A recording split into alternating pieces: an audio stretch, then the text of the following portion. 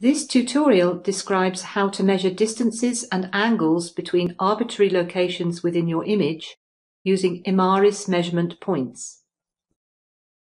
By using measurement points, you can easily obtain the distance and angle values between non-segmented volume data and or created objects. Even without creating an object, you can start measurement in the volume rendered image. Start a new set of measurements by adding a measurement points object to your current Surpass scene. Under the Edit tab, there are four options that enable you interactively to place points at the required locations. The first two options, All Visible Channels and Specific Channel, are important if you want to perform direct measurements in a volume rendered image. The All Visible Channel option places a point at the cursor position. The depth through the volume is determined by the most intense voxel of all the channels. To start inserting measurement points, the pointer must be in the Select mode.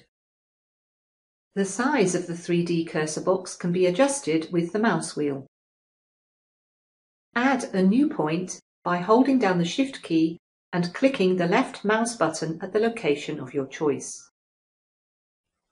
After placing a second point, a line connecting the two points is created and the measured distance between two non-segmented structures of interest is displayed. Add another point and for each pair of adjacent points, the angle between their common point is computed and displayed next to the angle arc. For multi-channel images, placing points at the correct depth within a 3D image could be a challenging task. So you can either control which channels are visible in the viewing area by selecting or deselecting channels in the display adjustment window, or select the specific channel option. By selecting the specific channel option, a new measurement point is placed at the most intense voxel of the selected channel, even if that channel is overlaid with other channels of higher intensity.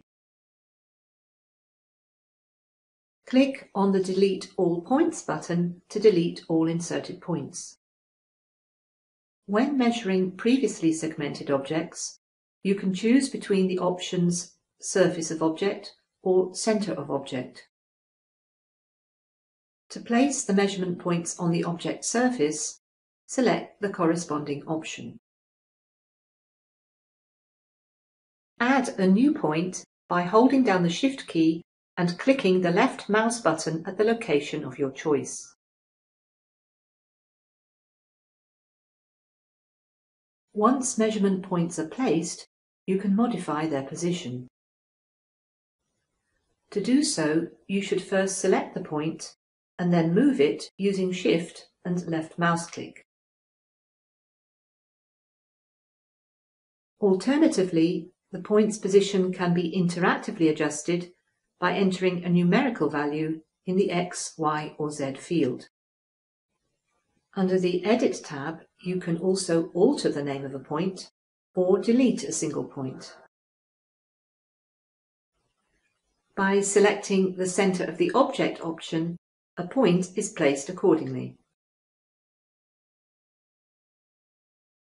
Depending on the type of created object, points are placed at the center of the sphere for spots and vesicles, or at the center of the homogeneous mass for surfaces, cells and nuclei.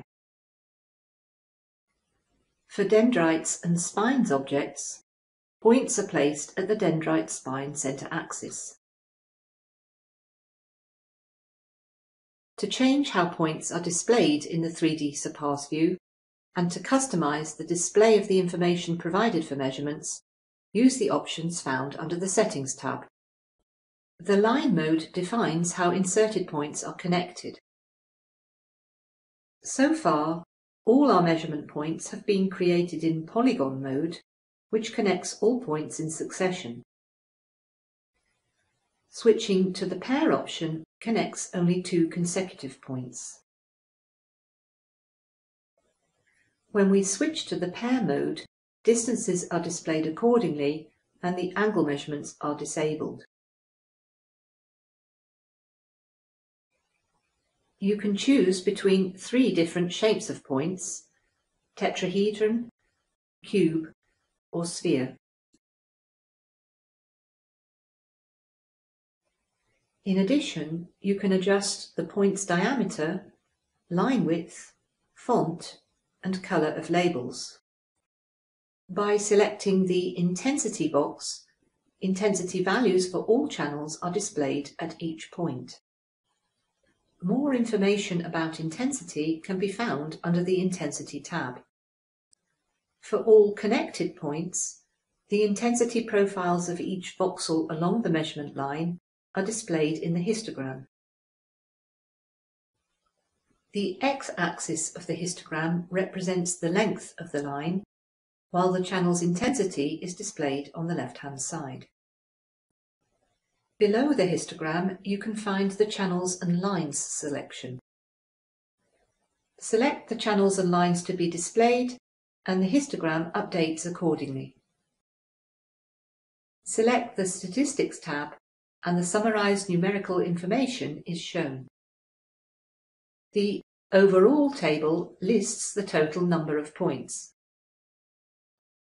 Under the Detailed tab, the pull-down list displays the available statistical variables. You can select to display either angle, distance, position or intensity data. As for other statistical values in Imaris, all values can be exported to Excel. Watch our next video tutorial to learn how to place a point within a specific plane when it lacks a solid object or high intensity voxel. If you have questions about these features or any other features found within Imaris, please contact our sales or support team. Thank you for watching this video.